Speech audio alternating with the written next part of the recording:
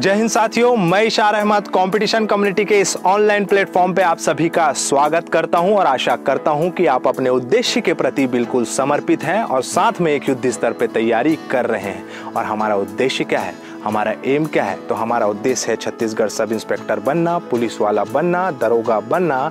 तो उसी के परिप्रेक्ष्य में आप इस बात को जानते हैं कि कंपटीशन कम्युनिटी हमेशा छात्र हित के लिए सजग रहती है।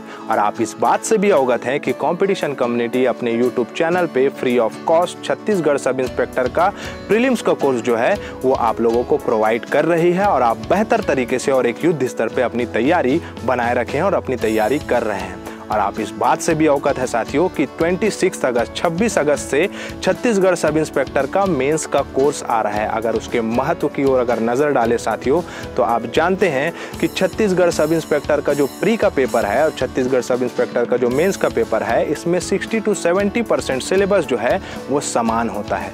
और इसके परिप्रेक्ष्य में अगर बात करें तो समान होने के साथ आपको दोनों की पढ़ाई तो बेहतर तरीके से करनी होगी।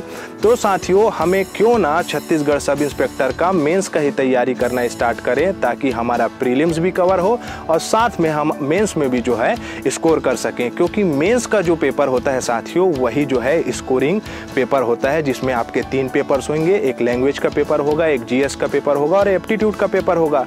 तो अपनी तैयारी को पहले से बेहतर बनाइए, ताकि 975 पदों के लिए 975 पदों में से एक पद जो है आप अपना सुनिश्चित कर सके। आशा करता हूँ सारी बातें आप लोगों को समझ में आई होगी। और एक बात बता दूँ साथियों कि प्रीलिम्स के बाद मेंस का जो पेपर होगा, उसके लिए आपको लगभग 45 से 60 दिन का समय मिलेगा।